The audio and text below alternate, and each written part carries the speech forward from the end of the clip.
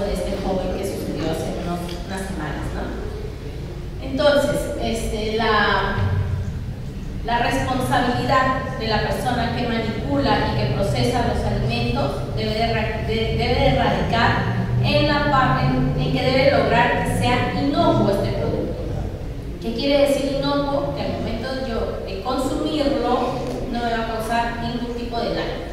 Para esto yo tengo que cuidar mucho los temas este, de los sistemas, este, de los programas prerequisitos, ¿no? Puntos básicos como limpieza, higiene, selección de los buenos insumos, que sean de calidad, que no tengan exceso de pesticidas, que no tengan exceso de contaminantes químicos físicos, etc. ¿no? Todo eso lo vamos a desarrollar más adelante. Entonces, yo quiero que ustedes se queden con el concepto de que la inocuidad es la garantía que un alimento no me va a causar daño al momento de yo consumirlo. ¿no? Tres condiciones básicas que debe tener un alimento. Seguridad, ¿no? De- este alimento debe brindar seguridad al consumidor. ¿Qué quiere decir? Cumplir aquí la inocuidad de los alimentos, ¿no? Seguridad en el envase, ¿no? Muchas veces este, también se ha escuchado casos de las conservas, por ejemplo, ¿no? El atún o, la- o las latas de cerveza, las latas de gaseosa. Este, ha habido casos de muerte porque no han enjuagado la lata, ¿no? Y ahí ha habido, ustedes saben que las latas los, almacenan, ¿no es cierto? En un, en un lugar. Y muchas veces ahí hay roedores, ¿no? Y los roedores efectivamente hacen sus necesidades por ahí y por ahí ya se ¿no? A veces este, estamos en una reunión, en una fiesta, en un compartir, abren la lata y de frente lo, lo toman, ¿no? Siempre es bueno, este, a veces exagerar un poquito en el tema del cuidado, de todo, del lavado de manos, del lavado de las latas, todo eso con la finalidad de que no nos cause daño, ¿no? Este, seguridad en el proceso, ¿no? Cada, por ejemplo, este, todo, toda este, producción de alimentos tiene un proceso, ¿no? Desde lavado, desinfectado, este, esterilizado, etcétera, ¿no? Para eso hay que cumplir parámetros, ¿no? Y hay que tener mucho cuidado en esos procesos, ¿no? De lavarlo bien, por ejemplo, desinfectarlo, la, la cantidad este, exacta de desinfectante, el tema del secado, ¿no? porque hay productos que, por ejemplo, no pueden contener mucho contenido de agua porque genera hongos.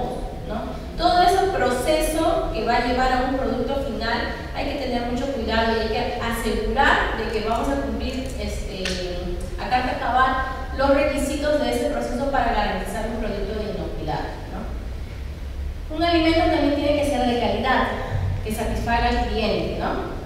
La calidad no solamente es que un producto se vea bonito, ¿no? La calidad implica muchas cosas, este, cumplimiento de requisitos mínimos, obligatorios, cumplir con normas técnicas, ¿no? Por ejemplo, las normas técnicas, si bien ciertos son voluntarios, pero por lo menos establecen requisitos mínimos de calidad que debe cumplir un producto, ¿no? Por ejemplo, este, el tema del calibre, el tamaño, el peso, el tema que no tenga este, residuos de plaguicidas, residuos de pesticidas, el tema de, por ejemplo, este, requisitos eh, libres de grasa trans o que sean, este, por ejemplo, eh, sean orgánicos, ¿no? que no cause daño a los, a los consumidores, exceso de sal. Ahora, por ejemplo, que en el, en el etiquetado de los alimentos ustedes habrán podido observar en todos los supermercados que ya todos los alimentos tienen su autógono, ¿no? Ese sellito este, negro, ¿no? que dice alto en azúcares, alto en sal, alto este, en sodio, etc. ¿no? Con la finalidad de que ustedes ya estén informados, ¿no? Porque ahora este, se han vuelto mucho más exigentes, tanto los países este, a los cuales nuestros alimentos van, como que también nosotros mismos como consumidores. ¿no? Ahora ya no, ya no solamente nos dedicamos a ver fecha de producción, fecha de vencimiento, ¿no? eso era antiguamente, ahora el consumidor ya es más este, informado. ¿no? quiere saber si este producto, si lo consumo muchas veces, tiene alto grasas este, saturadas o alto sodio para las personas que, por ejemplo, sufren de hipertensión, etc. ¿no? Ya ahorita cuidamos más de lo que nosotros nos alimentamos. ¿no? Y todo eso envuelve lo que es la calidad. Y el tema legal, ¿no? que cumplan los requisitos mínimos, que cumplan los requisitos obligatorios, ¿no? que cumplan con las normas, con los reglamentos, con las directivas de los diferentes países. Por ejemplo, hay países como Europa que no permiten el ingreso de productos nuevos, ¿no? La famosa ley de Novel Food, ¿no? Por ejemplo, este, eh, en el caso de, a ver, por ejemplo, el sachayinchi, ¿no? Acá, el sachayinchi es oriundo de acá de, de, Perú, ¿no? Y este, acá se consume desde la época de los incas, ¿no? Pero en Europa no, Así que este, el sachenchi en Europa es muy solicitado por sus altos contenidos de omega, por su valor nutricional, pero muchas veces no lo pueden adquirir porque este, Europa ya estableció su, su ley de Novel Food, ¿no? Así que hay que hacer estudios para demostrar que el producto es que sano, que el producto es inocuo, ¿no? De todas maneras tenemos que cumplir con todos los reglamentos, ¿no? Entonces, condiciones del alimento son tres sea seguro, que este, me brinde calidad y que cumpla con las leyes. A ver, vamos a hablar sobre los programas prerequisitos, qué son los programas prerequisitos, qué es el sistema HACCP y cómo esto nos ayuda a lo que es la exportación de los alimentos, ¿no? Para evitar rechazos, para evitar la mala imagen del país, porque al final de cuentas cuando hay un rechazo no solamente es el rechazo del producto de la empresa Pepito Pérez, ¿no? es el rechazo del país, ¿no? Y muchas veces hay cierre de mercados y todo eso y, al final afecta no solamente a la empresa sino a la, economía del país. Entonces, ¿qué son los programas prerequisitos? Si ustedes ven en esa figura que es. Ahí van a ver que las bases van a ser los programas prerequisitos. ¿no? Si una empresa no tiene estos programas prerequisitos no va a poder implementar el sistema HASA. Y ahora el sistema HASA, ya bueno, desde hace muchos años es obligatorio en el país. ¿no? Eh, si tú no cumples con la implementación de, esta, de este sistema que es el HASA, lamentablemente no, tus productos no van a asegurar la inocuidad, que es un requisito de los alimentos. No vas a poder exportar bien es cierto y la realidad es de que hay, hay empresas que hasta ahorita no tienen su casa, que sin embargo no, sí siguen exportando, pero son pocos, ¿no? Y al final de cuentas dañan la imagen si es que le rechazan su producto, pierden mercados, ¿no? Así que lo bueno es que debemos de cumplir es Primero establecer nuestros, prerequisitos, ¿no? Para luego poder este, implementar nuestro sistema HACCP. ¿Qué son los programas prerequisitos? Son especificaciones de cada tipo de empresas, procesos y productos. ¿Qué quiere decir esto? Por ejemplo, si yo produzco salsa de tomate, mis programas prerequisitos van a ser diferentes a una empresa que exporta, por decir, este, mango fresco, ¿no? Porque los programas este, prerequisitos se enfocan directamente al producto y al proceso de la empresa, ¿no? No es que sea una ley para todos, ¿no? Si bien es cierto, son este, requisitos generales, pero en la, práctica se va adecuando a tu, a tu manera de procesar y a tu producto. Por eso dice que son específicos directamente para los procesos y para los productos. Son el soporte para la implementación del sistema HACCP. Como ya les había mencionado, si tú no tienes programas prerequisitos, no pretendas implementar un sistema HACCP. Eso es lo que quiere decir, ¿no? Controlan los riesgos que pueden ocurrir en el proceso, ¿no?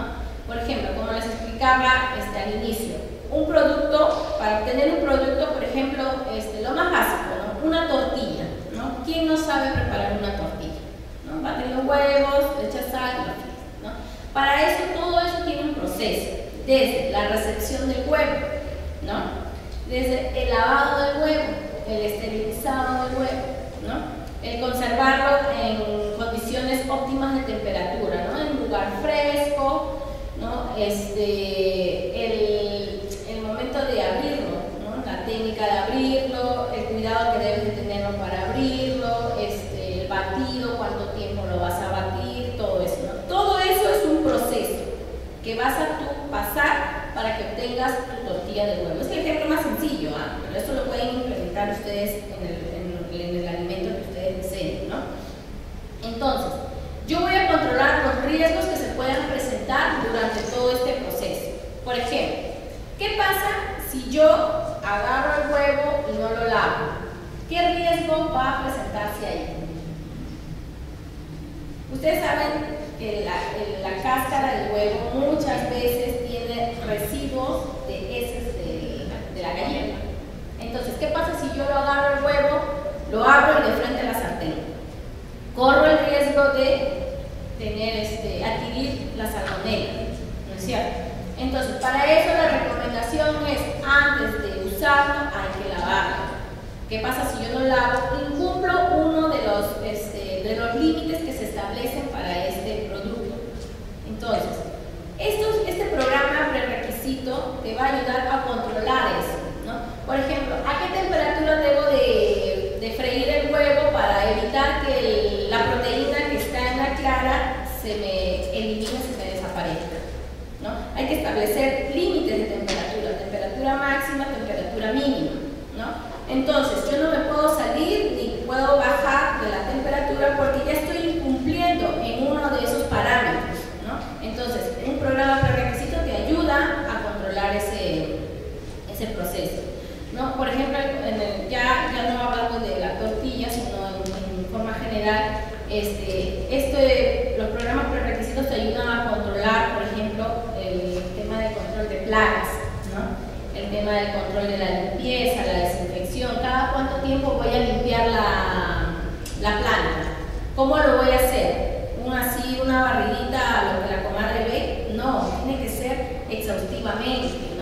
Este, el tema de la desinfección de la sala, la desinfección de las mesas, para la desinfección de la mesa tiene que haber, este, se tiene que establecer un grado, por ejemplo, de, de cloro, cuántas, cuántos de cloro en cuántos este, litros de agua, todo eso se debe de establecer, ¿no? Eh, por ejemplo, control de, adulterantes en los alimentos, por ejemplo, este, hace poco también cerraron una panadería en, Comas porque había incumplido con el tema de los, este, ingredientes, ¿no? Por ejemplo, los insumos, los equipos estaban sucios, eh, las tequeras estaban oxidadas, utilizaban en vez de harina, utilizaban otras cosas, todo eso te ayuda a controlar este, un programa prerequisito, ¿no? Por ejemplo, los famosos registros, ¿no? Muchas veces no somos constantes en el llenado de registros, ¿no? Por ejemplo, temperatura, ¿no? A la que ahorita está la, la, la, temperatura es 121 grados. Pero no, ya no, lo llené a la hora que yo debía llenar. Solamente lo lleno cuando sé que va a venir auditoría o cuando sé que va a venir alguien a inspeccionar. Y ahí empiezo a inventar datos.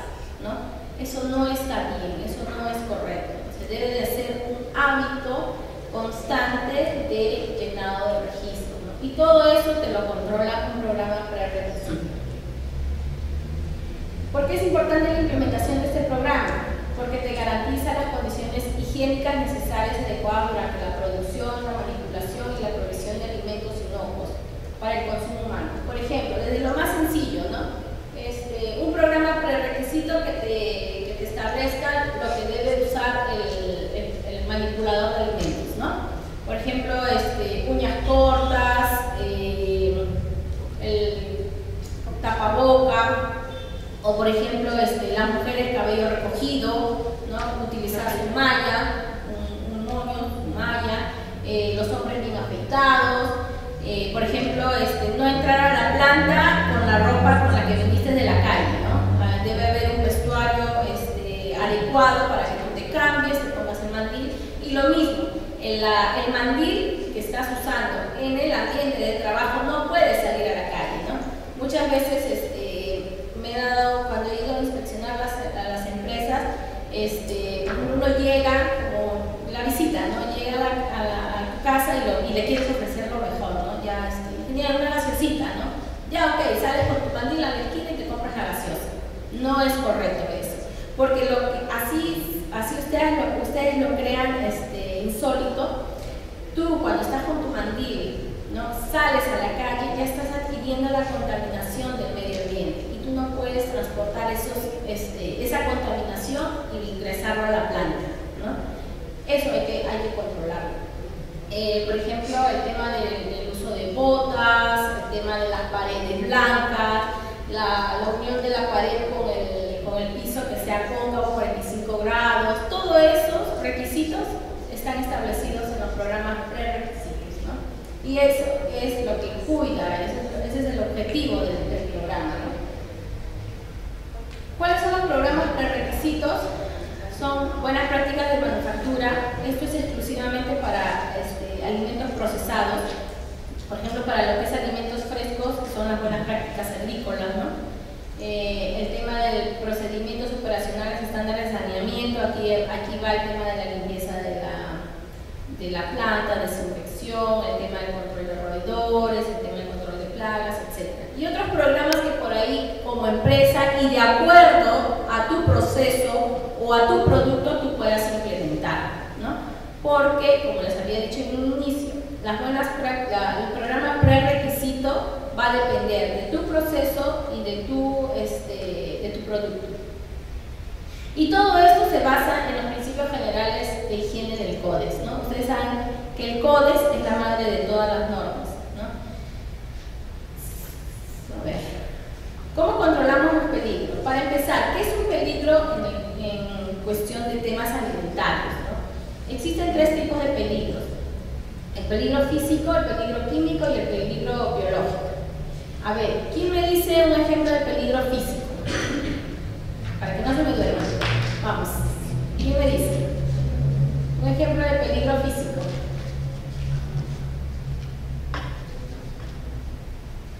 Vamos. Que se dañe el envase de repente. ¿Perdón? Que se dañe de repente el envase. Por ejemplo, claro, este, por decir, un envase de vidrio que por ahí al momento del, del, cerrado, del, sellado, se rompió un pedacito imperceptible al ojo del, del vidrio pero ya cayó el alimento, ¿no? Entonces, completamente riesgoso, puede causar hasta la muerte, ¿no? Otro, otro este, ejemplo de peligro físico, por ejemplo, el cabello. Claro que no te va a causar daño, pero ya tú lo ves en tu alimento, un cabello, ya como que sientes una ligera repulsión, ¿no? Este, por ejemplo, eh, un pedacito de, astilla, ¿no? madera, algo así, una piedrita, sobre todo eso es en, las menestras, ¿no? cuando uno está cocinando las menestras, estás comiendo y ¡pum! una piedrita, ¿no? es un peligro físico. Eh, ¿Alguien? Pesticida. Pesticida, muy bien. Este, residuo de desinfectante, por ejemplo, ¿no?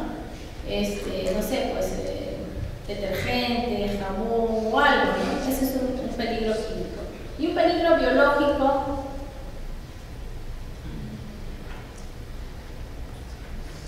hongos o que puedan presentarse en el alimento.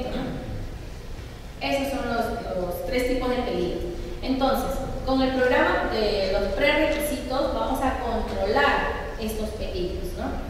¿Cómo? Haciendo una evaluación de los proveedores. Si bien es cierto, por ejemplo, si yo voy a procesar este, si salsa de tomate, mi proveedor va a ser el agricultor que, cosecha los, los tomates. Entonces yo tengo que hacerle una evaluación a él. ¿Qué evaluación? Este, ver si pesticidas, ver este, eh, si es que sus pesticidas están excediendo sus límites máximos de residuo de pesticidas, eh, ver el tema del, agua de riego, qué agua utiliza, todo eso yo tengo que evaluar. Es mi obligación como procesadora de alimentos evaluar a mi proveedor. Entonces, también, eh, ¿cómo controlo? Con fichas técnicas, con protocolos, planes de muestreo, ¿no? Sacar muestreos este, de los alimentos y analizarlo, llevarlo a un laboratorio para ver si es que no hay, excedente de pesticidas o de otros este, peligros, ¿no? Recepción de las materias primas, no es cuestión de ver, a ver cuánto pesa, ya se acabó, no, ¿no? Sino revisarlo bien, revisar en qué envase viene, si es que el envase está limpio, la jarra, ¿no?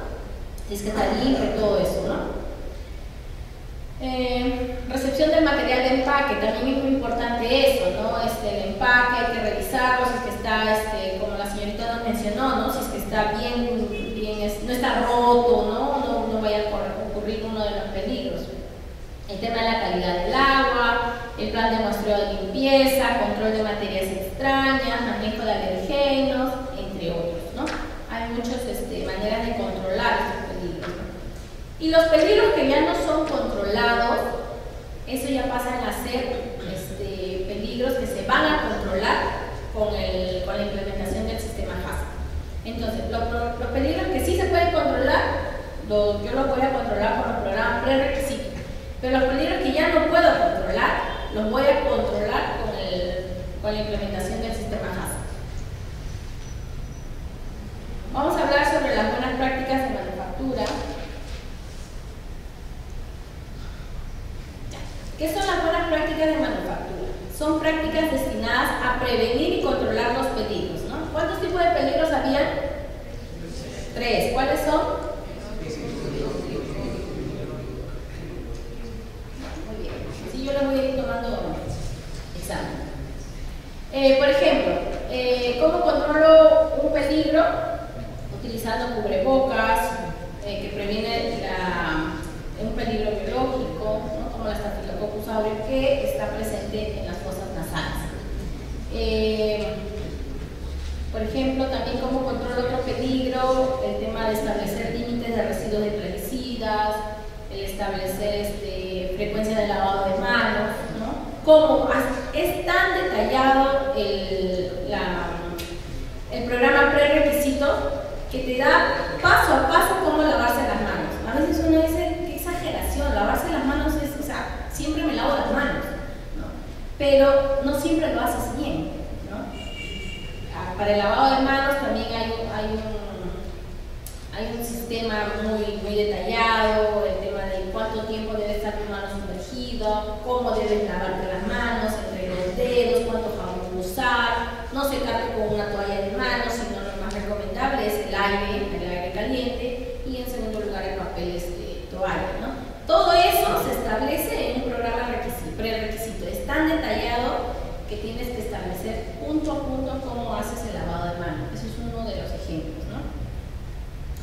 Eh, por ejemplo, en la producción primaria, ¿no? que viene a ser la, la, ¿cómo se llama? la cosecha, en el fundo, etc., tienes que evitar que tu fundo esté en una zona donde antes o durante cause este, daño a una contaminación cruzada. Por ejemplo, yo no voy a poner este, mi, mi chacra de, por decir, de mangos eh, cuando antes ese, terreno fue relleno sanitario. O cuando antes ese terreno fue este, un cementerio. O que esté este, cerca a esos este, factores de contaminación. Todo eso hay que cuidar. Eh, controlar los contaminantes, las plagas, por ejemplo, yo bien bonito, este, soy, eh, creo en, los alimentos orgánicos, mis plantas son orgánicas y todo eso, pero mi vecino rocea un montón de pesticidas, todo eso, y al final el aire me lo trae y me contamina. Todo eso también hay que controlarlo. Eh, por ejemplo, este, muchas veces se ve y hay casos de que en el, en el fondo no hay un, no hay un guardián, no, hay un perrito. ¿no? Y los perritos es un animal que no te va a entender de que ahí no debes de pisar, o ahí no debes de defecar, o ahí no debes de orinar. No, el perrito es perrito, él es un animal y es libre y hace lo que él quiere. ¿no? Por eso no se debe de, no se debe de tener animales en un fondo. ¿no? Eh, adoptar prácticas y medidas que permitan asegurar la producción de alimentos en condiciones higiénicas apropiadas. ¿no? evitar el tema de los animales, evitar el tema de los de, los pesticidas, entre otros. ¿no? Ya en la planta también existen programas prerequisitos, las buenas prácticas de manufactura y cómo lo debo de implementar. Por ejemplo, instalación libre de contaminación, como les decía, ¿no? yo no voy poner mi planta cuando al costado hay una, este, no sé, pues, decir, una fábrica de pinturas, ¿no? porque me va a contaminar, el, el aire ya está contaminado, me va me va a contaminar mi producción de alimentos. Eh, por ejemplo, una instalación de adecuado mantenimiento, la limpieza, la frecuencia de la limpieza, cómo se debe de hacer la, limpieza, la desinfección, la reducción mínima de contaminación por aire, etc. Las superficies y los materiales en contacto con los, alimentos no debe ser tóxico. ¿no? Por ejemplo, en una panadería este, lo más recomendable es utilizar una mesa este, adecuada, que sea higiénica, para el proceso de, los panes. ¿no? Eh, debe, por ejemplo, este, utilizar la tabla de picarla de madera porque esa se contamina rapidísimo y aparte que se daña y ahí genera grietas y ahí genera de que se, se instalen los microorganismos que pueden contaminar el alimento. ¿no? Eh, por ejemplo, los dispositivos deben ser idóneos para controlar temperatura, temperatura del medio ambiente, temperatura durante el proceso, hay que controlar esas temperaturas mediante los registros, debe haber una protección este, contra el acceso de, del ingreso de plagas, por ejemplo las palomas, los, roedores, los insectos que puedan causar contaminación al alimento. ¿no? Todo eso debes de controlarlo con las buenas prácticas de manufactura. Ya en el momento de la operación, en el momento crucial del procesamiento del alimento, debe cumplir también con buenas prácticas, ¿no? Por ejemplo buenas prácticas de manipulación. Por ejemplo, ahí ustedes ven una foto donde el pollo lo están este, trozando en una tabla de color amarilla. Y más atrás ven este, el tomate que lo, que lo han cortado en una tabla de color verde. ¿Por qué esta diferencia? ¿Porque se ve bonito? No. Porque siempre hay que distinguir, este, es bueno que tengamos diferentes tablas de picar para los productos. No es que sea, no es que le voy a comprar una tabla para el pollo, una tabla para la naranja, una tabla para el mango, no, no es eso. Sino separar lo que es frutas y verduras a lo que son carnes, ¿no? ¿Por qué? Por decir, este, si yo ahí le corto, corto al pollo y de ahí, uy, ¿verdad? Tengo que hacer ensalada, voy a cortar el tomate en la misma tabla, utilizando la misma tabla, utilizando el mismo cuchillo, voy a generar una contaminación cruzada, ¿no? Porque el pollo está crudo, el pollo tiene microorganismos que de todas maneras al momento de lavar y al momento de la cocción van a desaparecer, pero la verdura fresca me la voy a consumir yo directamente. Entonces, si yo pico mi tomate encima de la tabla que piqué el pollo sin lavar, sin desinfectar, sin nada, voy a generar que ese tomate se contamine y me pueda causar daño. ¿No? A eso se le llama contaminación cruzada. Por eso es bueno de que tengamos este tipo de prácticas, de buenas prácticas. ¿no? Eh, por ejemplo, ahí ven en la foto cómo están lavando las paredes. Ustedes dirán, uy, exagerada para lavar las paredes. Las paredes yo la, he pintado hace dos años y están bien bonitas y están bien limpias. No es así. Se genera polvo durante el ambiente, durante el procesamiento, se impregnan en las paredes y eso también puede generar la presencia de microorganismos, ¿no? A veces de las arañas o ya si es una zona muy cerrada, ¿no? Ya empieza la, aparición de mohos, ¿no?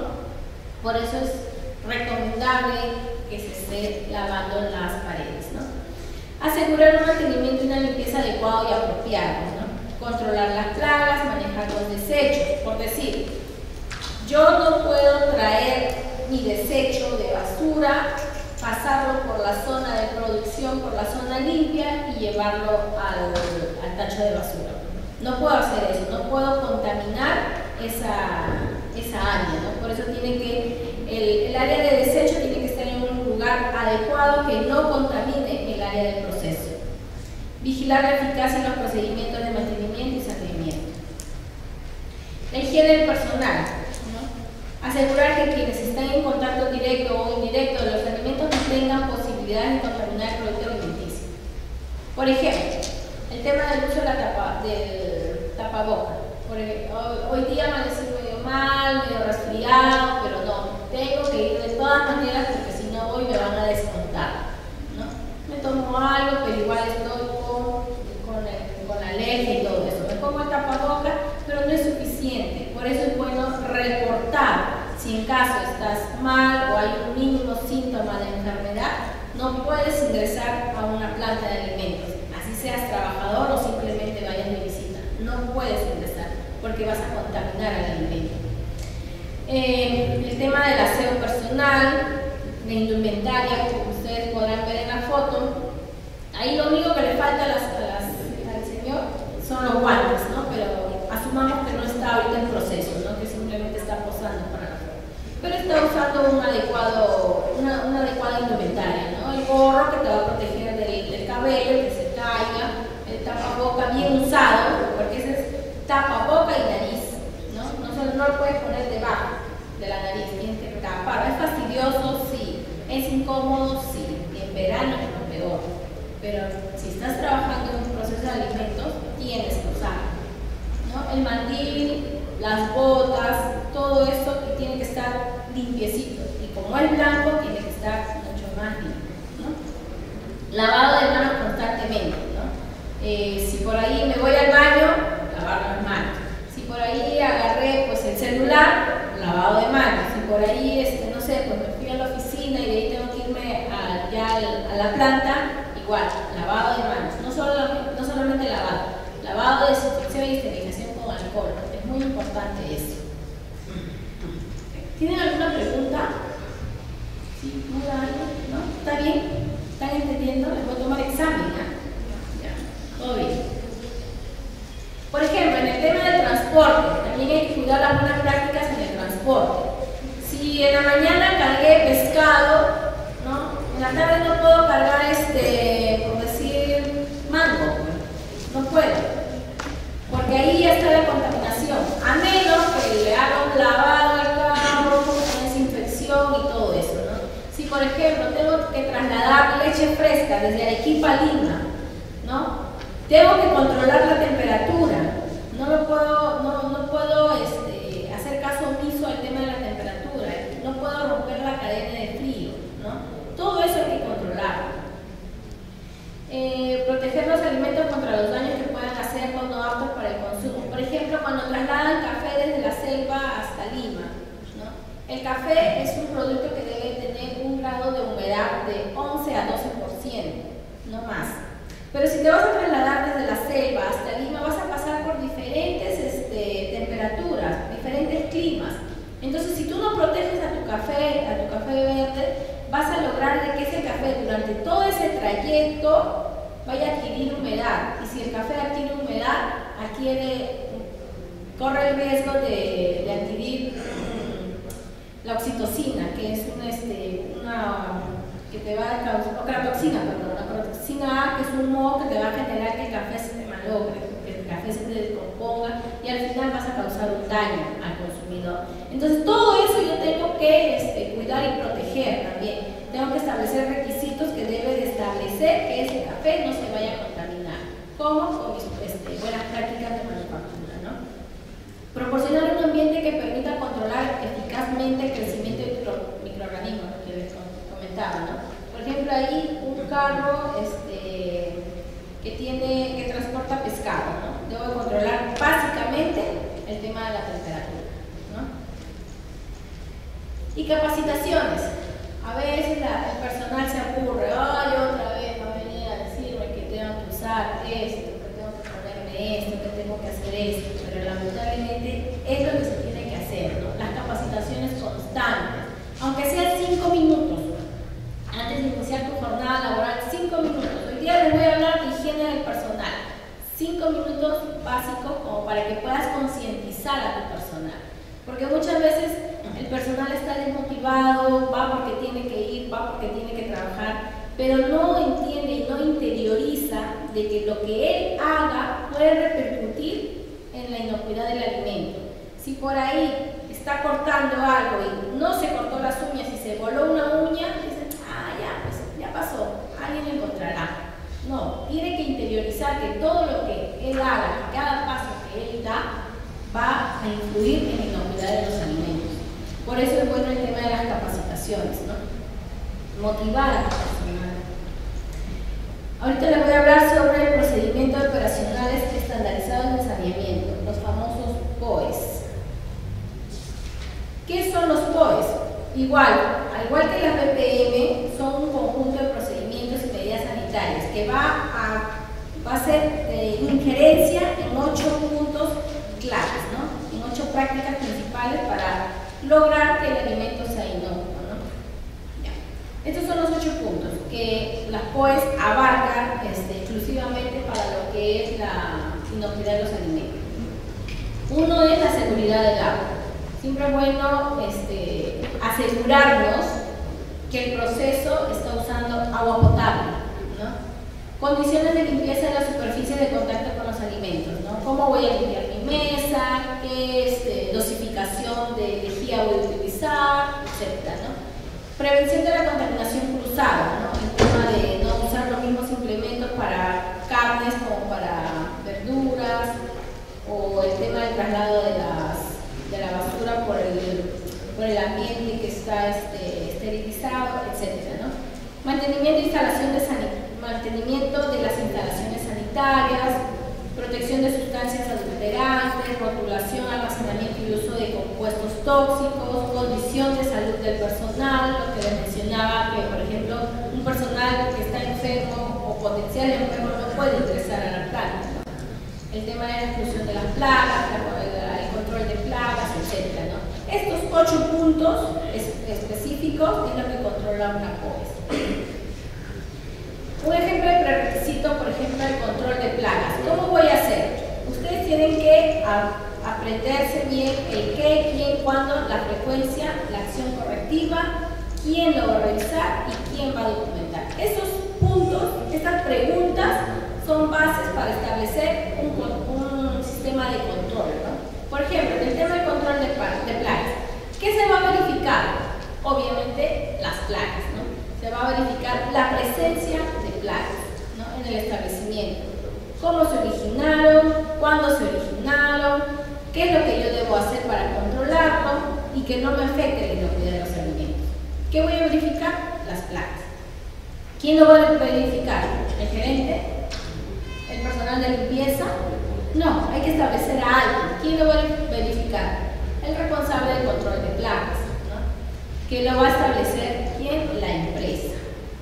Y este puede ser un agente propiamente de la empresa o un particular, ¿no? Este, contratar a, un, a una empresa de... Hay empresas que tienen el servicio de control de plagas, que vienen, te, hacen una, una visita, un diagnóstico, te ponen trampas por aquí, trampas por allá, fumigan, etc. ¿no? A ellos les podemos contratar. ¿Cuándo voy a verificar? ¿Cuál va a ser la, la frecuencia, ¿no? el periodo de frecuencia? va a ser? ¿Anual, quincenal, mensual? Va a depender también de qué, de qué tan contaminada está alrededor de la planta, ¿no? Si por ahí no hay nada, puede ser mensual, bimestral, ya hay que hacerlo quizás funcional, ¿no? Va a depender de, la, planta, cómo esté. Eh, la frecuencia de verificación lo establece la empresa de acuerdo a estadísticas, ¿no? Por ejemplo, el mes pasado encontramos en la, en la trampita un, un excremento, ¿no? Ya pasa una semana, ya van dos excrementos, un mes ya van cinco excrementos, ¿no? Entonces ahí ya yo voy estableciendo mi frecuencia de control de plagas, ¿no? Acciones correctivas si se pierde el control. ¿Qué pasa si por ahí hay un montón de excrementos? ¿Qué voy a hacer? ¿Cuál va a ser mi acción correctiva, ¿no? Ahí tengo que establecer qué es lo que yo voy a hacer, ¿no? Medidas aplicadas lo establecido no ayudan a controlar las plagas, ¿no? ¿Quién va a revisar esta acción correctiva? El responsable de calidad o quien designe la empresa, ya sea este, dentro de mi empresa o la empresa que he contratado. ¿Quién documenta la información? Igual, el responsable designado, ¿no? el jefe de control de plagas o la empresa que yo contraté. Esta es la manera de cómo tú debes de implementar tu programa prerequisito para controlar tus plagas. ¿no? Hacerte estas preguntas y establecer quiénes van a ser los responsables. ¿Cuál es el beneficio de implementar un programa prerequisito? Te va a dar confianza al momento de procesar tu alimento, ¿no? Porque ya tienes todo controlado, ¿no? Lo que no puedes controlar con, las buenas prácticas lo controlas con el sistema de implementación del HACCP, pero todo está controlado y eso te da confianza de que no vas a, no vas a producir un alimento que vaya a causar ah, daño a otra persona hace que la implementación del sistema HACCP sea mucho más factible, sea mucho más llevadero, sea mucho más sencillo, ¿no? ¿Por qué? Porque ya mis pilares, que es el programa de prerequisito, ya está controlado, ¿no? Entonces lo, el HACCP simplemente es puro documento. Es un buen indicativo del compromiso de la alta dirección, ¿no? Efectivamente, cuando nosotros hemos intentado hacer programas de gestión de inocuidad en la cual se establece el programa prerequisito, el primer día lleno total, la capacitación lleno total, están los gerentes, están este, los gerentes, los, jefes de calidad, jefes de procesamiento, están hasta el personal. Todos completitos y todos felices de que van a iniciar un programa de gestión de inocuidad de los alimentos, que ya con el, con el título ya te dicen muchas cosas. Pero al momento de que te dicen, mire, este, la planta del señor Pepito Pérez, hay que hacerle una implementación en los pisos, hay que, este, hay que techar, hay que ponerle, este, hay que hacerle la caña entre el piso y pared. Ya cuando empiezan a, decirle qué es lo que tienes, las mejoras que tienes que implementar en tu empresa, que para ellos es dinero que voy a gastar, empiezan, empieza la retirada, ¿no? Empiezan a decir, ah, bueno, señorita, este, mi planta es alquilada, este, no, yo me voy a mudar el próximo año, no puedo hacer este, mucho, muchos gastos acá porque ya, estoy haciendo mi planta, ¿no? Ya empiezan con, los, con las excusas, ¿no?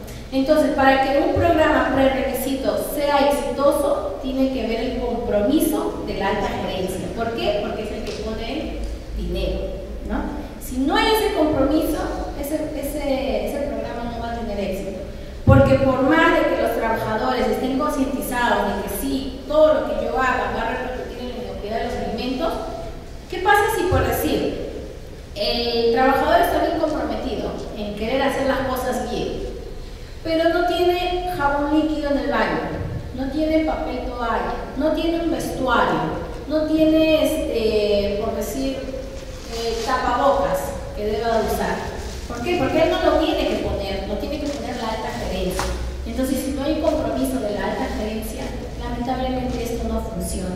Por eso es muy importante de que el beneficio para implementar un requisito deba estar comprometido a la alta gerencia.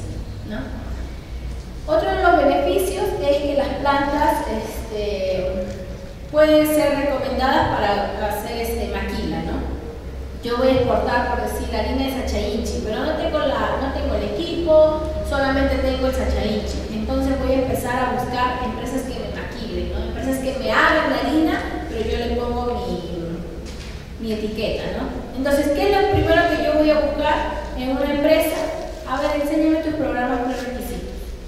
Y si no tienes, ¿qué cliente? ¿no? Entonces, tienes que generar la confianza de, tu, empresa, ¿no? Eh, efectivamente, hay un tiempo que lleva la implementación, hay un costo también, ¿no? Esto es un costo aproximado, va a depender, como les dije, de la planta, cómo está y todo eso. Eh, un tiempo aproximado entre 3 a 6 meses para la implementación de un, programa prerequisito. Como les decía, va a depender del tamaño de la planta y de la disponibilidad de recursos, ¿no?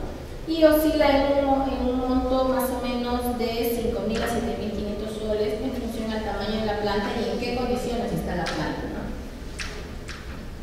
Ahora vamos a hablar del sistema HACCP. Entonces, yo ya sé que es inocuidad de alimentos. ¿Qué es inocuidad de alimentos? Vamos, en coro, no se peleen. Díganlo así fuerte. ¿Qué es inocuidad de los alimentos? Si no voy a retroceder, voy a explicarle todo ¿ah? A ver. ¿Cómo? Muy bien. La garantía que el alimento no me va a causar daño al momento de consumir. Este, los peligros. ¿Cuántos peligros hay? Tres. ¿Tres? ¿Cuáles son? Muy bien. Físico, químico y biológico. Eh, programa prerequisitos, ¿cuáles son?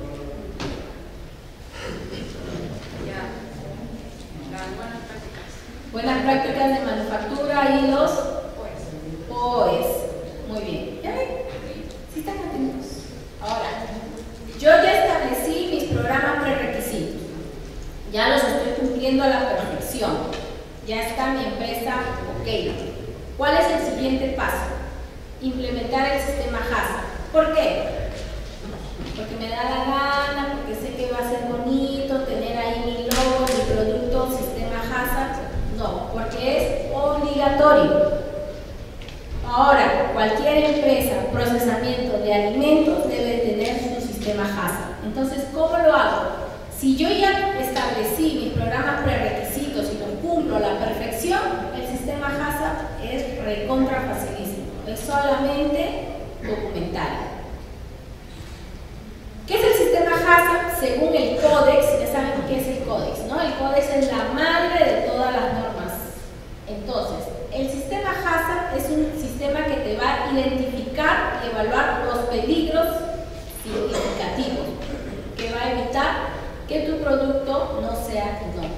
Entonces, ¿qué es un peligro significativo? Aquel peligro que aún se presente durante el proceso de mis alimentos en caso de que vaya a causar algún daño alguna lesión al alimento, este puede ser controlado. ¿no? Entonces, el peligro significativo es aquel peligro que presentándose en el alimento lesiona o daña la salud del consumidor final, al ser humano. Como habíamos dicho anteriormente, los peligros que se puedan controlar, lo voy a controlar con los programas prerequisitos.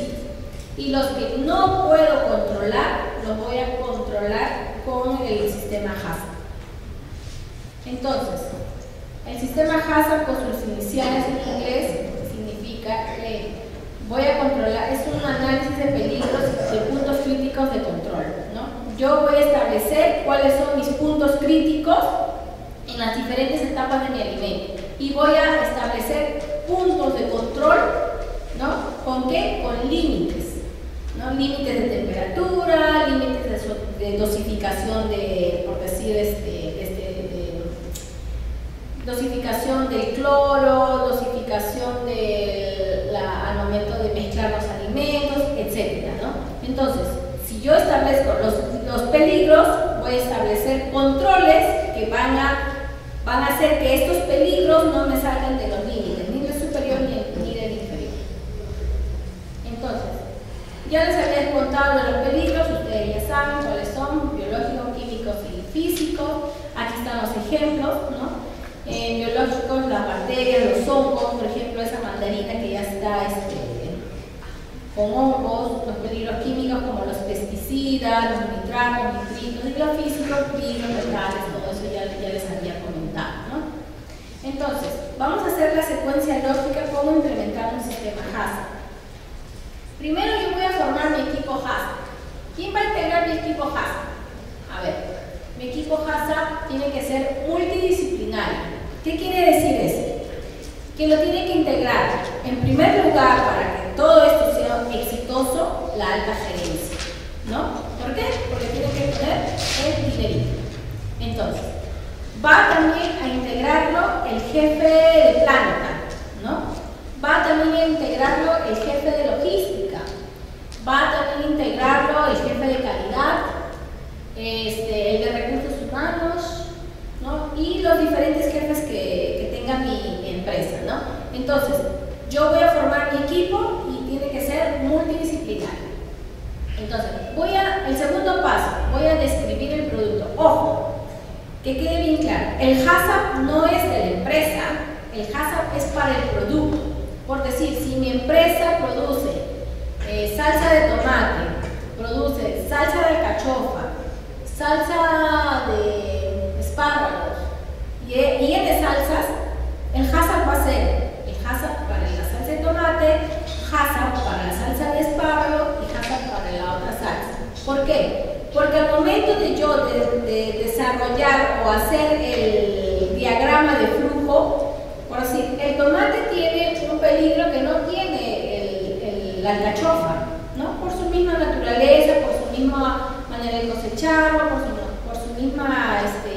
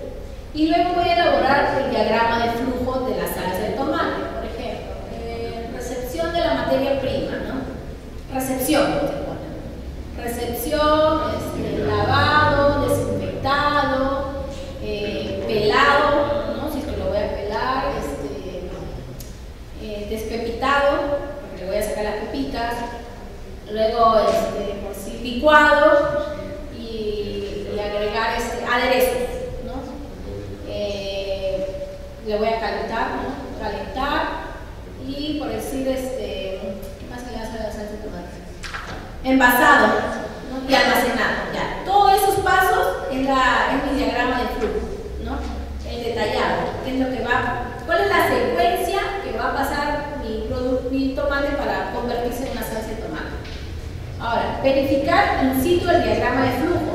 ¿Qué es eso? Yo voy a ir con mi hojita bien bonita, con mi diagrama de flujo y voy a decir, a ver, ya, acá dice recepción de materia prima. ¿Dónde hace la recepción de materia prima? Allá, allá. Ok, voy, veo cómo hacen la recepción de materia prima. Ok, check. A ver, el siguiente, eh, lavado o selección, por decir, selección. ¿Dónde haces la selección del tomate? Allá, al área del costado. ahí selección del tomate. Eh, lavado, tiene que haber un área exclusivamente para lavado, para etcétera, ¿no? Yo voy a corroborar que lo que está en mi papel también está dentro de la planta, ¿no? Establecido, ¿no? Este, eso se llama eh, verificación in situ del diagrama de. Hasta ahí, todo bien. Ahora, en el paso número 6 ya viene el tema de los peligros. Ahí voy a enumerar los peligros que se pueden presentar durante el proceso de mis alimentos. Por decir, ¿qué peligro se puede presentar en la recepción del tomate? Que yo pueda detectar que ese tomate está excediendo los límites máximos de residuos de plaguicidas. ¿Y cómo lo detecto? Con evaluación de mi proveedor. Entonces ahí, el peligro número uno en recepción. Eh, eh, excedente del límite máximo de residuos de plaguicidas. Ya, ese es un peligro. Eh, por ejemplo, otro peligro en el, en el lavado y desinfección del tomate.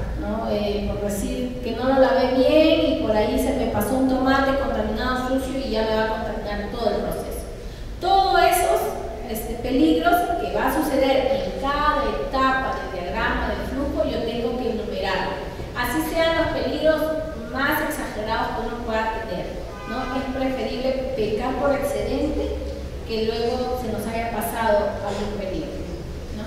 Entonces, ahí yo voy a establecer cuáles son mis peligros, cómo, lo, cómo voy a analizar ese peligro y qué medidas de control voy a establecer en ese peligro. Por ejemplo, si yo encuentro que mi tomate que, que va a ingresar al proceso está este, excediendo los límites del máximo de residuo de plaguicida, ¿qué es lo que yo voy a hacer? Lo voy a poner a un lado, lo voy a volver a analizar y no lo voy a usar por el momento o lo llevo al laboratorio. Esas opciones que ahorita están lanzándose, que se está brindando, eso hay que apuntarlo, ¿no? eso hay que establecer. ¿Qué medidas de control yo voy, yo voy a tener para ese producto? Ese es el principio 1 del sistema HASA. El principio 2, determinación de puntos críticos de control. ¿Cuáles van a ser mis puntos críticos de control? ¿Dónde van a ser mis puntos críticos de control? ¿Y qué, es lo, qué medida yo voy a tomar? Todo eso tengo que analizar. Luego establecer los límites críticos de control, por decir, en la salsa de tomate, al momento de estar este, en cocción, eh, no debe bajar de la temperatura, por decir, de 121, porque por lo general esa es la temperatura en la cual muere la mayor cantidad de microorganismos que puedan estar presentes en los alimentos. No debe de bajar, pero tampoco puede exceder decir los 125 grados centígrados porque ya excediendo ya pierdo. Entonces yo ya establecí límites críticos de temperatura, ¿no? ni menos de 121 ni más de 125. ¿no? Entonces yo tengo que controlar esa temperatura ¿no? para evitar que mi alimento sea este contaminado o que mi alimento ya pierda las proteínas. ¿no? Entonces en el punto, en el paso 8 establezco los límites críticos de control para cada punto crítico de control que yo he encontrado durante, durante el proceso. El principio 4, establecer un sistema de vigilancia para cada punto crítico de control. Por ejemplo, ¿en qué momento voy a vigilar la temperatura? ¿Cada cuánto tiempo? ¿Quién lo va a hacer? ¿Cómo lo va a hacer? ¿No? Todo eso tengo que establecer. Luego, las medidas de rectificación para posibles desviaciones. ¿Qué pasa si por ahí se me malogró el termómetro y, o perdón, se me malogró la marmita y nunca llegó a los 121? ¿Qué voy a hacer con eso? ¿No? Porque mi, límite era 121 y 125 grados centígrados. Entonces, ¿qué voy a hacer ante esa situación? ¿No? no sé, pues eh, parar la producción y cambiar de marmita o qué sé yo, cualquier, cualquier este, mecanismo que me pueda ayudar salvar ese, ese momento, tengo que establecerlo.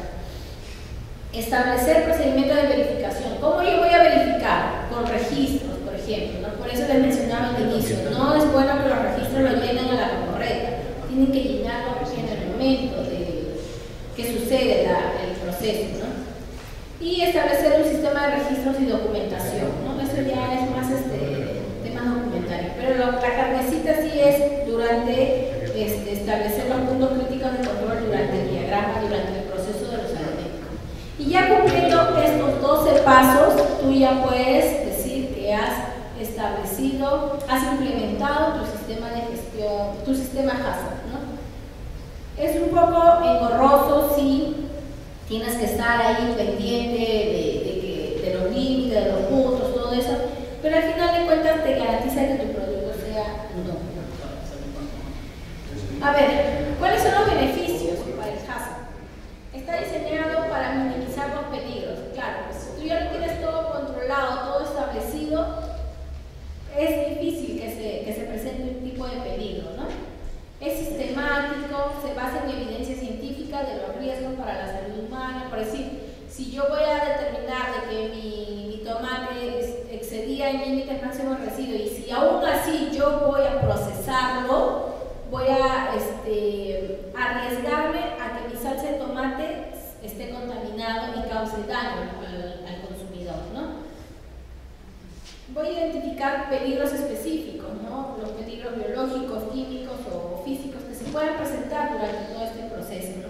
Porque yo ya voy a estar atenta a, por decir, en el momento de la recepción, ahí se me puede presentar el peligro físico de que se haya, este, por decir, este, un pedazo de vidrio o un pedazo este, de plástico de la java o un pedazo de madera de la java. ¿no? Entonces ahí yo ya voy a estar atenta y voy a, ah, ya voy a estar mucho más este, juiciosa y mucho más este, atenta al de recibir el producto, ¿no? porque yo sé que ese peligro físico se puede presentar ahí. ¿no? Entonces ya voy a estar mucho más este, alerta a eso. ¿no? Se centra en la prevención, es preferible prevenir que lamentarse, es, es lo que es. Porque una cosa es de que yo deje pasar las cosas y lo haga así a la paporreta y pueda generar que un producto sea rechazado y al final me va a salir más, el costo de calidad de un producto rechazado es mucho más elevado que haber prevenido este, durante el proceso, ¿no? Es dinámico, se adapta a los nuevos procesos, como ya les dije, ¿no? El, el hazard es para el, para el proceso en sí, para el producto, ¿no? No es para la empresa, ¿no? Eh, por si, si por ahí cambia mi formulación o por ahí si cambia mi, mi equipo o si cambio de base, ya tengo que cambiar el, sistema Hazard, ¿no? porque ya va a presentarse otro peligro que quizás no se presentaron en, la, el proceso anterior. ¿no? Eh, aumenta la confianza del consumidor, obviamente. ¿no? Si yo veo un producto, por si yo voy a comparar dos productos, ¿no? y en un producto sale el logo Hazard certificado por la empresa o por la certificadora tal y acá no tiene Hazard, obviamente que lo voy a dejar de lado y voy a agarrar el producto que tenga Hazard porque por lo menos me garantiza de que durante el procesamiento de este alimento han cuidado los peligros, ¿no? a diferencia del otro producto que no tiene Hazard. Facilita el cumplimiento de exigencias legales. Como ya les había dicho, el Hazard ahorita es obligatorio en Perú y mucho más en los países, este, en los mercados internacionales. Es rentable ya que reduce las quejas, ¿no? Ya no, ya no vas a tener el tema de que, ay, encontré pelo en su producto, ay, encontré esto, ay, su producto estaba así contaminado, ya no, ya. Porque tú ya has prevenido y has controlado los posibles peligros que se puedan presentar este, durante el proceso. Eh, estimula mayor compromiso a los manipuladores de alimentos ya les dije, los manipuladores van a sentirse comprometidos a que cada paso que ellos dan va, a, ser, este, va a generar la, confianza en el momento de procesar los alimentos. ¿no? Voy a garantizar de que un producto sea inocuo. Eh, garantiza la inocuidad, además de motivar a los operarios, es específico para un proceso, producto o grupo de productos, ¿no? Como les dije, puedo yo generar un hazard para las salsas pero por ahí va a variar si es que es de tomate, de alcachofa o de otro producto, ¿no? Pero son mínimos, ¿no? Eh, casos de peligros eh, que se han presentado durante el, en el mundo durante los últimos años, por ejemplo, un peligro físico eh, en Alemania en el 2018 se encontraron un fragmento de alambre de metal en un queso, ¿no? En el mismo país, el mismo año, eh, fragmento de plásticos en pastas rellenas vegetarianas provenientes de Austria, ¿no? Eh, fragmentos de vidrio en cerveza embotellada de Bélgica, este, piezas de metal en queso, en queso frío en Alemania. Este, ah, por, eh, por, ejemplo, yo de dónde saqué estos, estos peligros. Ahí hay este, el sistema RAS para la Unión Europea es el sistema RASP. Ahí lo pueden ver donde dice fuentes, RASP, sistema de alerta temprana europea. ¿Qué quiere decir? Es un portal de la Unión Europea donde va a, mm, brindar la información de los peligros que se presentan en la Unión Europea, ¿no? Ese es el sistema RAS. Ese sistema este, de alertas es semanal, ¿no? No, perdón, es mensual. Cada mes te sale este, todo lo que, todos los peligros, todas las embarcaciones que se han retenido y el por qué. Este, ahí, ahí, si ustedes quieren ingresar a ese sistema, ponen RASP nada más en internet y ahí les va a salir los peligros, eh, el producto que ha sido retenido, el por qué y, y, el país. Eso es lo malo de Unión Europea, que te dice el país, no te dice la empresa tal, ¿no? Solamente el país. Entonces, este, ese es para Unión Europea. Para lo que es Estados Unidos es el OASIS, ¿no? que más adelante les voy, a, les voy a dar el link para que puedan ingresar. Ahí sí es este, más, más rochoso porque es por empresa, ¿no? Empresa, el producto, la dirección de la empresa y el motivo, ¿no? Y muchas veces son rechazos rechazos este, que se pueden evitar, ¿no? Por ejemplo, mal etiquetado. Si yo voy a llevar un producto a Estados Unidos, mínimamente la etiqueta debe, debe estar en inglés, ¿no? Y por eso te rechazan, porque la etiqueta estaba en otro idioma que no era el inglés, o por ejemplo, este, mm, porque encontraron algo en el producto, un peligro físico, etcétera, ¿no? Eh, por ejemplo, este, peligros químicos, ¿no? Eh, presencia de gluten en proteína de linaza, no pusieron la etiqueta libre de gluten, ¿no? Eh, exceso de LMRs en quinoa, eh, es mucho, muchas veces este, ha habido muchos rechazos de LMR en quinoa, eso fue en el año 2014 en Perú. Soya no declarada en láminas de barquillo. Ustedes saben que, por qué, por qué ese, ese tema de la declaración de los productos alergenos, ¿no? Porque hay personas que si consumen la soya eh, les genera una alergia o si consumen el gluten igual, son este, intolerantes al gluten, todo eso. Es por eso que en los etiquetados de los alimentos se debe de establecer todo eso, ¿no? Eh, por más mínimo que sea. Por ejemplo, ustedes van a ver en algunos productos de panificación sobre todo que dicen, ¿no? Este, este producto ha sido procesado en máquinas que han procesado maní y soya, por ejemplo, ¿no? Ya tú lo ves, ya tú, tú ya estás este, informado de que lo que te vas a consumir ahorita, por decir un pan o una galleta, lo han procesado en máquinas que también procesan maní, ¿no? Si eres alérgico, te abstienes a consumirlo y si no, normal, pues, ¿no? Pero ya la etiqueta ya te está informando, ¿no? ¿Y por qué ya este, te informa tan al detalle, ¿no? porque hay una ley de etiquetado que establece que debes de, de, mostrar estos requisitos, ¿no? debes de, establecer todo eso. ¿no? Em, estos peligros se pueden presentar porque se hayan añadido intencionalmente. También hay, ha habido casos de que, por decir, ¿no? Este, hubo, una vez una un caso que, que llegó a Perú que este, un producto el Perú, el Perú exportó un producto al mercado A y este mercado A lo reetiquetó y lo exportó al mercado B. ¿no? Entonces, este, en, ese, en, ese, en ese lapso hubo una contaminación y dijeron, no, e, eres, es este, el producto de, Perú, ¿no? Y al final no había sido de Perú, sino que había sido el intermediario, ¿no? Eh, ahí también hay, hay, este, hay que controlar todo eso, ¿no? Eh, ejemplos de peligros biológicos, este, el reencuentro alto de Echerichia coli en mejillones vivos, eh, la presencia de anisakis en conservas enlatados.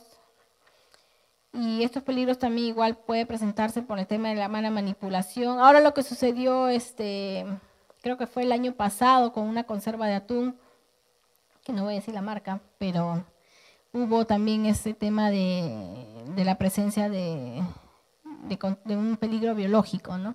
que también este, causó pérdidas a, este, a esta empresa. ¿no? Todo eso se este, podría haber evitado si es que este, controlasen bien sus, sus puntos críticos. ¿no? Otros rechazos, por ejemplo, este, productos con sellos rotos, embalajes en malas condiciones, productos que rompieron la cadena de frío y se descongelaron, eh, presencia de materiales extraños, eh, productos con fechas vencidas, etcétera, ¿no? Todo eso, ¿cómo lo vamos a evitar? Con la implementación de prerequisitos y el establecimiento de la implementación del sistema HACCP, ¿no? Eh, tiempos y costos para la implementación de un sistema HACCP. Eh, si tu empresa está ok y cumple con todos tus prerequisitos, lo puedes hacer entre 4 a 8 meses. ¿no? Una inversión este, considerable de 12 mil a 17 mil soles va a depender también del tamaño de la empresa ¿no? y las condiciones en las cuales está el... y la cantidad de procesos sobre todo, pues, ¿no? Ahí está, mira, algunas fotos de algunas empresas a las cuales hemos visitado, ¿no? Y, puedan observar las fallas que puedan tener estas empresas, ¿no?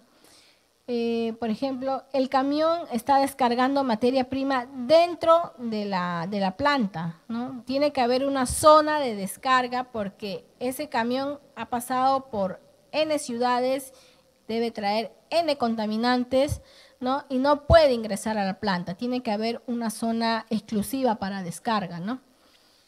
Eh, si ustedes se ponen a observar bien, el techo es de calamina, la calamina también tiene unas ciertas este, ondas que, pueda, que puede generar, este, ahí pueden ingresar este, este, plagas como palomas, ¿no? Las palomas hacen sus nidos, hacen sus necesidades y todo eso y puedes contaminar la planta, ¿no? Miren las jabas cómo están tiradas por ahí. Eh, no sé, no, no quiero pensar qué serán esos cilindros. La verdad es que eh, desordenado total, ¿no? Y hay un claro ejemplo de que no cumple con los programas prerequisitos, ¿no? Eh, por ejemplo, si ven esa foto de ese, este, ese señor que está que hace fuerza, ¿no? Para que entre hasta la última naranjita, ¿no? Pisándola. Ya las jabas de madera ya no se deben de usar, están prohibidos.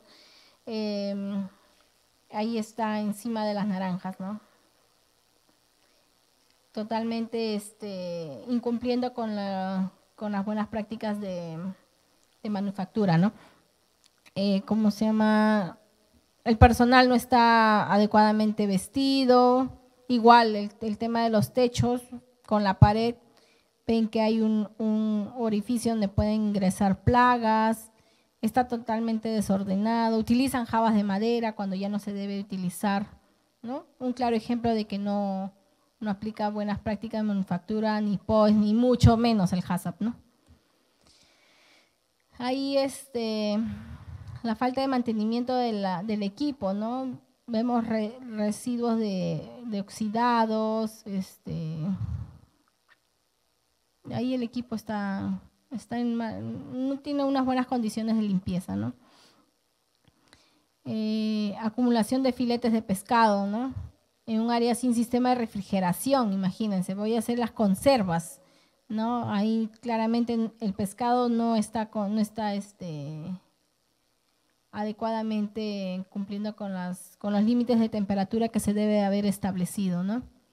Igual acá, ¿no? El área de almacén de materiales de empaque en malas condiciones, ¿no? Totalmente desordenados, igual este, no, hay, no hay un techo que pueda protegerlo, ahí entra tierra, ya se contaminó la caja y, ya, y, ahí en esa caja va, va a ingresar los, los productos, ¿no? Si bien es cierto, bien a los productos, imagino yo que van a ser latas o, envases de vidrio, todo eso, pero ya de todas maneras ya te genera una, mala condición, ¿no? Porque ya está el polvo, por ahí puede ser de que una palomita entró, hizo sus necesidades, la salmonela, por eso es muy importante el tema del lavado de las latas, ¿no? O un roedor ya ingresó, hizo sus necesidades y ya contaminó el producto, ¿no?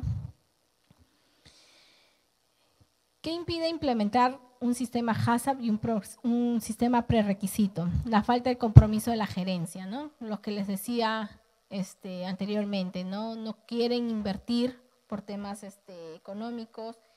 eh, la falta de gestión por parte de los encargados de las líneas de producción, no están comprometidos los trabajadores, no cumplen con levantar las observaciones, por más mínimas que sean las observaciones, siempre hay que hacer, siempre hay que levantarlas, ¿no? No cumplir con la normativa de los alimentos, la ley de etiquetados, etcétera, ¿no? Eh, no contar con empresas habilitadas por los organismos competentes, ¿no? Este, los organismos competentes acá en Perú son tres, ¿no? Este, DIGESA, SENASA y SANIPES, ¿no? Ellos controlan este, eh, a los procesadores de alimentos según la especialidad, ¿no? SENASA en lo que es producción primaria, DIGESA en lo que es procesos, este, alimentos procesados y este, CENIPES lo que es este, todo lo que tenga que ver con, con pescado, ¿no? Eh, Acá sí se ve claramente que implementan un sistema HACCP, ¿no? Desde el, personal que está adecuadamente vestido, están ahí en el proceso de, sellado, eh, ven en la parte de atrás este, rótulos, ¿no? Que puedan, que, que identifican que está prohibido comer, que el personal debe usar un adecuado eh, vestimenta, los productos están ordenados, ¿no? Ahí podemos ver claramente que sí aplican los, los sistemas prerequisitos, ¿no? Ahí, por ejemplo, la mesa este, de un material adecuado para los alimentos, los techos y paredes y pisos también limpios, adecuados, ¿no? Según la normativa alimentaria, ¿no? Las visitas también, ¿no? ¿Qué hago yo si viene una visita, ¿no? igual, ¿no? Dar, vestirlo tal y como si fuera un trabajador, ¿no? Con el, mandil, con el tapaboca, cuidar de que siempre se, cubran el cabello y todo eso, ¿no? Ahí están dando una capacitación al personal, ¿no? Aunque sea, como les dije, aunque sea cinco minutos de capacitación, es este, fundamental, ¿no? Y este, solo las plantas que procesan alimentos implementados con sistemas de gestión de la calidad, e inocuidad podrán garantizar alimentos inocuos al mercado local o internacional. ¿Y eso qué hace? Que te genere que tu empresa sea confiable, ¿no? Te abre muchos mercados, te vuelve más competitivo, ¿no? Y hace que satisfagas mucho a, tus clientes, ¿no? Y sobre todo que no vas a tener este, pérdidas económicas por rechazos o retención de productos, ¿no? Ahí lo que les mencionaba, ¿no? Este, las tres, este, los tres organismos que en Perú, SENASA, DIGESA y SANIPES. Ahí están las páginas web si quieren visitarlos también, si quieren saber un poquito más de, su funcionamiento, de qué se encargan y todo eso. Eh, si quiero vender, por decir, espárragos a España, debo de cumplir con los requisitos que establezca España, ¿no es cierto? Entonces, es lo más, este, es lo más lógico, ¿no? ¿Qué esperan nuestros clientes? Que nuestros alimentos sean seguros, que tengan ambientes limpios, servicios agradables, satisfacción y sobre todo que mi alimento sea inocuo, Entonces, es importante que todas las empresas que procesan alimentos cumplan con lo establecido en la normativa nacional o la internacional a la cual están dirigiendo su producto, ¿no? Implementar prerequisitos como buenas prácticas, POES u otros este, prerequisitos que puedan establecerse, ¿no? Y también ahora que ya es obligatorio la implementación del sistema HACCP, ¿no? Muchísimas gracias. Este, si tienen alguna duda, alguna pregunta o algo que no les quedó claro, me lo hacen saber. Si hay preguntas. Está todo claro, entonces paso a tomarles el examen antes que se vayan. Muchas gracias.